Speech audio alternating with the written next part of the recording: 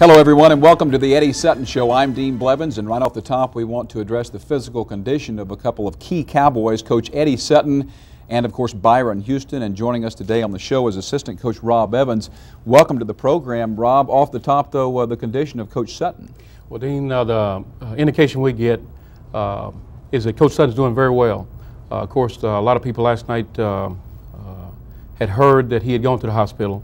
Uh, he started feeling uh, a little weak when he went to his press conference.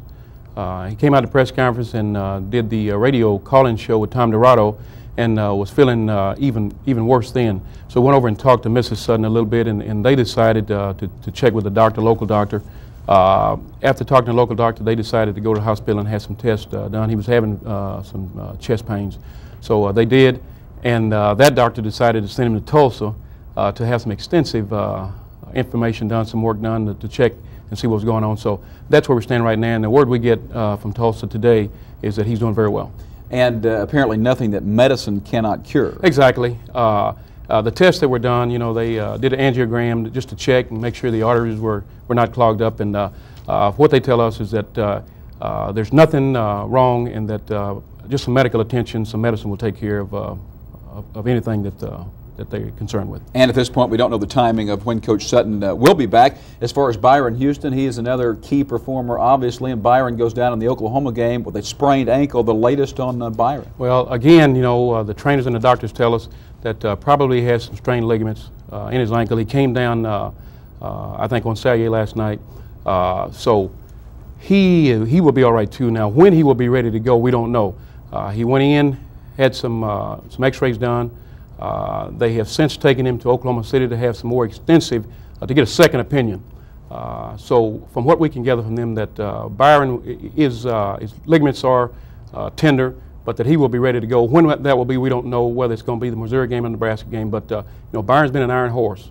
And so uh, we look for him to come back uh, very, very soon. And it was a tough spill. We'll have a graphic look at that injury coming up in the highlights. We'll take a break now. When we come back, we'll look at Oklahoma State and Iowa State and Oklahoma State and the Sooners. Stay with us.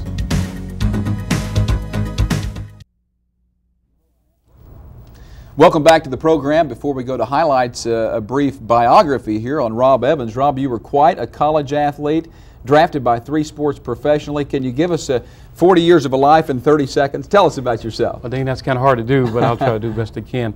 Uh, basically from New Mexico and uh, played high school ball and was drafted in three sports. Drafted out of high school by Houston Colt 45s.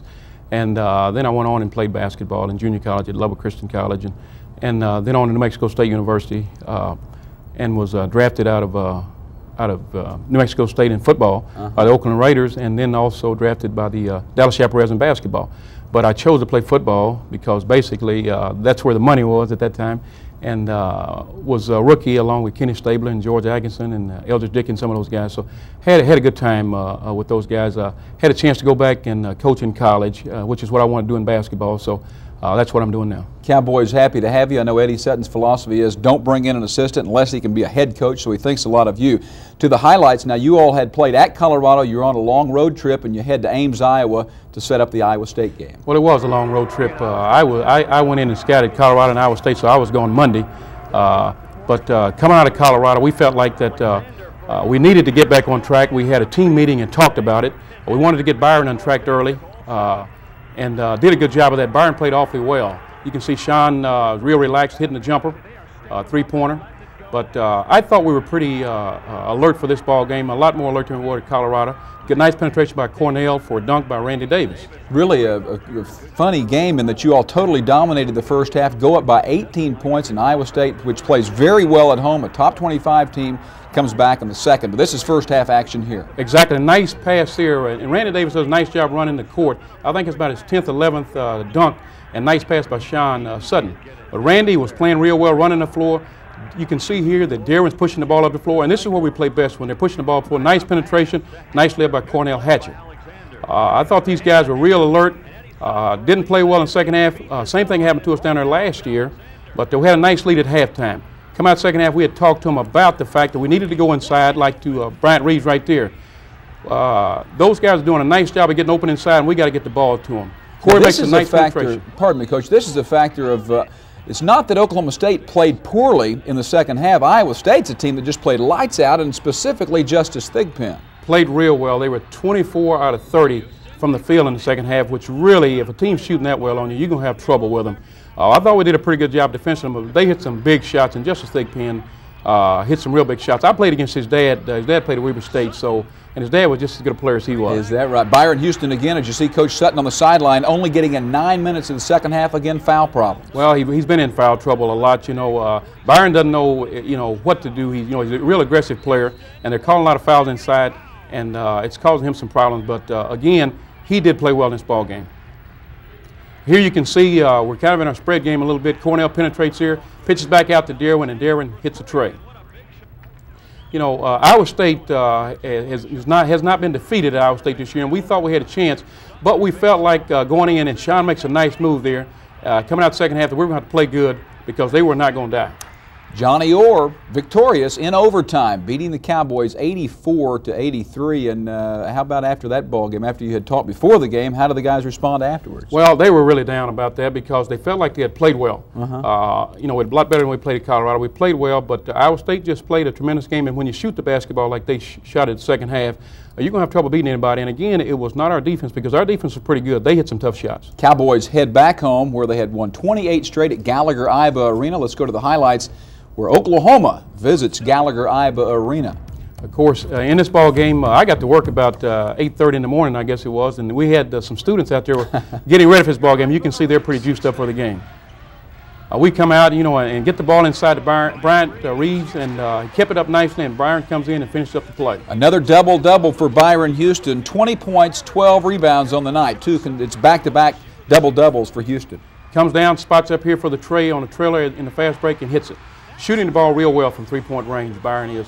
Uh, you know, he's just doing a good job. Didn't get the guard play you like in the first half. 0 for 9 from your guard. Well, really 0 for 11 because when you add Cornell yeah, in there, true. Uh, you know, just didn't get that. Uh, they played well at Oklahoma. Uh, in this ball game, uh, they were a little bit tentative. Don't know what the problem was, but we didn't get it. But uh, again, our inside people playing pretty good. Milt Brown hits a nice shot there, nice flash. Milt's a big uh, physical player, really does well down low, doesn't he? He's starting to play. He and uh, Binky Triplett are starting to play for us, and that's what we're going to need. We're going to need somebody to step up and come off the bench and help us. There's a lob. That's nice Sean lob does that well. Sean does a good job of finding those guys, and uh, when he's in the ball game, those guys are real alert for him. And Sean Sutton comes out in the second half and is knocking down trays. He'll knock down four of them in the second half, four of seven on the evening. Also had seven assists, a fine second half, an overall game for Sean Sutton. Nice ball game for him. And when uh, things are kind of stagnant a little bit for us, Sean takes upon himself to try to get us going and did a good job. Big rebound by Bryant Reeves. We're pushing the ball up the floor uh, and uh, does a good job. Gets it inside. Again, Milt Brown does a good job of pump faking and going up and scoring the basket. Coach, your team put up 21 three pointers. That's a school record. I believe 19 was the previous record. Is this because teams are packing the zone in? Well, they are. They're zoning us. We've seen some zones, quite a few zones, and we're starting to do a better job of it. Uh, when they zone you like that, you've got to hit outside shots like Corey Williams just hit there. Otherwise, they're just going to continue to pack it in. I know you weren't pleased with everything that your team did last night, but another example, as Iowa State played very well down the stretch, Oklahoma made some big buckets. Well, you know, we're a ranked team. We're ranked eighth right now. We've been ranked as high as second. And when you're ranked, people are going to get used to it for you. Come in and play it tougher than they normally do. And that's what we're finding, and we've just got to come up with that. Byron, here is where you see Byron comes down uh, and turns his ankle, comes down on Sallier. Sean uh, gets a charge. You can see it in replay here. Great look at it here. Watch Byron Houston in the middle, number 35, will come down on Sallier. It comes well, hurts to watch it. Oh, it really does. You can see here where he goes up and comes down on, turns that Woo! left ankle, just rolls that thing. Well, he Real grimaced, pain. He grimaced on the uh, floor in pain for a minute or two before they got him off the court. And one, one last chance. Triplett, we got Triplett in the game. Triplett been shooting the ball very well. It doesn't go here. When you get yourself in that position, uh, you know, you got to have shots like that, and it just didn't go. Oklahoma wins at 70 67. Oklahoma State not the only team to be upset last night. In fact, all four games in the Big Eight, the upset uh, the underdog was a winner. In fact, eight teams in the top 25 were upset. Well, again, you know what you're finding out this time of the year, uh, everybody's trying to get themselves in position for uh, tournament play. And all the teams that are in the lower division are starting to, uh, they're playing a little bit harder than, uh, than they normally would against you. Uh, and I think that's indicative by the eight teams that, that lost. Coach, on Thursday, which is today, you all do not practice because of the NCAA required number of hours you can work out. You have Coach Sutton and Byron not available, but uh, today you do not work out anyway. That's exactly right. We don't work out. It, it gives us a chance, uh, of course, with Byron uh, being out, uh, you know, to get give them some rest, and it gets the guys a chance to get away from basketball. I think it's a good rule uh, that they've instituted. Uh, we generally wouldn't work out today, and we're not working out at all. So I think they'll come back and be ready to go again tomorrow. All right, we'll visit more with Rob Evans on the Eddie Sutton Show when we continue after this timeout. Stay with us. And Rob, we pick it up late first half at Iowa State.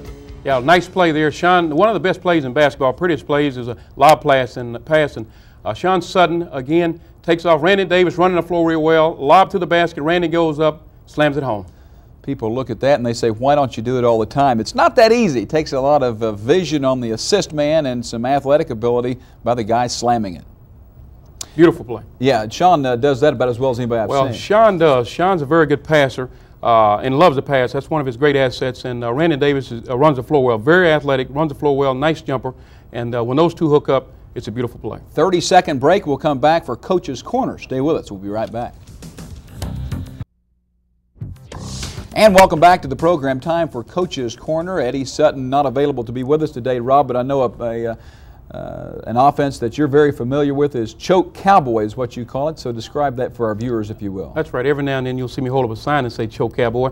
And basically what that is, is it's a spread game and it's when people are really pressuring you real hard. We try to move the uh, offense up uh, at least as high as the free throw line extended, uh, trying to backdoor people, trying to get some easy layups. It's an offense that's not designed to uh, delay the basketball game, but it's designed to score and, and try to relieve some of the pressure. Here you can see Corey gets in the middle. Uh, we got everybody above the free throw line. Ball's passed over to, to uh, Sean, and he dribbles out. Uh, we make them come out, and they're, they're still pressuring us. Uh, we hit, if we can get the ball in the middle right there, hit Byron, you hit Corey right there, and then everybody's back doing back door from both sides. You see Darwyn back cuts easy layup because of the pressure that they're putting on the wing positions. Not a delay game per se. It's, a, it's an offense where you look to score. Well, you know, uh, the choke cowboy could be an offense within itself. If people are going to get out and pressure you in, especially like when we played Kansas, uh, the, the defense on both ends were so tough uh, that we had to go to a choke cowboy a little bit earlier than we wanted to because we had to relieve some of the pressure. We had to get some back cuts, and you get those back cuts, then that makes them back off, and then you can go ahead and run your offense. But no, you're trying to score out of choke cowboy and out of any spread game. You know, last night's ball game was uh, the winner scored 70 points, the fewest points in the Oklahoma-Oklahoma State rivalry since 84. Uh, the, the road teams in the league have not really done that well. I believe the number is they've won four. They're four and 23 in the in the Bedlam rivalry. Though you go to Norman and win, and OU comes to OSU and wins. Well, you can never tell what's going to happen in the Bedlam rivalry because uh, you know it's, it's almost like you're playing at home. Uh, you know, you got a lot of fans there. But the, but the thing is, uh, generally in the Big Eight Conference, the arenas are so full until the crowd is a factor. A lot of places, a lot of conferences, you don't see that because there's not a lot of crowd. But uh, that's why you don't see a lot of road wins in the conference because the crowd gets enthusiastic. And, and again, the officials get caught up in the, in the enthusiasm sometimes. Uh, and uh, so you don't see a lot of that. But uh, when OU plays Oklahoma State, anything can happen. All right, we will take a break, and when we come back, we'll see standings, and we'll also see the schedule, and also talk with the coach about a few things coming up in Oklahoma State basketball. Stay with us as the Eddie Sutton Show continues. Welcome back to the program. I'm Dean Blevins along with Rob Evans, and let's take a look at the Big Eight standings where it's really sort of become jumbled of late. Look at all of them in the middle, Coach. Kansas still on top, although they lost last night at 7 and 2 in the Big Eight, 19 and 3 overall. It really is jumbled in there, and for the first time, uh, you know, in the middle of the, of the pack, uh, you know, you can never tell what's going to happen. And we got a lot of games left. We got five games still left to go. And even Kansas, uh, you know, is still not out of the woods. They got some places they got to play. We play them. Uh, you know, they got to play Kansas State, and believe me, Kansas State, that's a big rivalry there. Mm -hmm. So you mm-hmm. never know what's going to happen there. They go, uh, they get beat last night. So uh, it's going to be a great race, and it's also going to be a great tournament in Kansas City. Yeah, the Big Eight seeds are so important as to where you actually end up, and so a lot to be decided between now and the end of the season. And uh, that leads us into the schedule. Coach, let's take a look at what's coming up in the Big Eight Conference. Nebraska at Iowa State, Colorado at Oklahoma, Kansas at K-State, that on Saturday, and your big ball game at Missouri on Sunday. I'll tell you, all those ball games are tough ball games, and again, you're going to see some upsets in, in, in some of those ball games there because they're all tough. Nebraska, Iowa State's going to be a tough ball game. And then on Wednesday, Nebraska at Oklahoma State. Missouri at Iowa State, Kansas State at Colorado. We were just talking off the air. You believe all big, all of the Big Eight teams will uh, be in postseason play. But I don't think there's any question about it. You know, it's it's the only league I think in the country that's uh, that's everybody's got a winning record. Uh, Kansas State, uh, you know, has a chance to, uh, to win some more ball games. If they can win two or three more ball games, they're going to be in NC2, going to be in the NIT at least. Uh, uh, I think we'll have six teams at least in the NC2A playoffs. So I think all the teams in the Big Eight has got a chance to play postseason. Okay, Coach. Tough question. Where did the term Cagers uh, derive? Where did it start? Well, I, I think that if I remember correctly, it derived from the cages that were around the basketball courts a long time ago. Am I correct? Okay, we will soon find out. Uh, if you've been watching our program throughout the year, you've enjoyed the history of basketball, and we'll see if Coach Evans is right. The uh, term Cagers, this is the story of Cagers. Smart coach. Good well, job. I, I, didn't see it either. I, would heard that before someplace. All right, coach. Let's don't leave this on a down note. The Cowboys have a lot to play for. You're in the middle of a great season. This just happens to be the part of the season that's down. Tell well, us the good exact, news. Hey, let me tell you, that's exactly right. You know, it's a long season. We started out in preseason NIT and did a tremendous job there. We've won a lot of big ball games. Uh, in college basketball, you're going to have peaks and valleys. You know, these are 18, 19, 20 year old kids. Uh, you know, and the thing that uh, we need to do, we need to win a ball game. We win a ball game, uh, then we get up on a positive note. Guys get a little bit more confidence. Uh, we're trying to jockey for position. We're trying to get seated in the NC2A tournament. Uh, we know we're in the NC2A tournament, so we're just trying to get our basketball team where it's fluid again, where it's flowing again. And I think just you know a, a, couple of days work, um, and then get a chance to play some some people again. Uh, it'll be a lot more relaxed now. You know, a lot of pressures off these guys. They've been had a lot of pressure for a long time, being ranked uh, number two and, right. and, and different things. So I think that uh, this basketball team is a very, very good basketball team. You don't win as many games they've won without being uh, a tremendous basketball team. How do you coach the confidence? The team is not quite playing with the top confidence that it did before, shooting under 40% for the last five. How do you address that with the squad? Well, we talk individually with them uh, to let them know that we've still got confidence in them. I think it starts with the coaches. Uh, we've got a lot of confidence in these guys. We've got a senior ball club. These guys have a lot to draw on. You know, they've won a lot of big ball games. Uh, you know, again, uh, you know, they they're in a down uh, turn right now. Mm -hmm. But the bottom line is, we know what we got to do to get going again. These guys know. They know they're a very good basketball team. We need a win, and we'll get going again. Coach, less than a minute. Eddie Sutton, a super successful coach. What makes him so successful? Well, because uh, the bottom line is he doesn't deal in negatives. He deals in positive. Uh, he takes care of all the details. Uh, he distributes uh, uh, things to us for us to do. Lets mm -hmm. us, lets his coaches coach. Uh, and I think that's a big thing. I think that he's got a lot of experience when dealing with people. He knows how to deal with people. He knows how to get through to uh, to young men. Uh, he's just a positive individual, and we're all, I think, not only the coaching staff, but the people in Stillwater and Oklahoma State fans are fortunate to have him.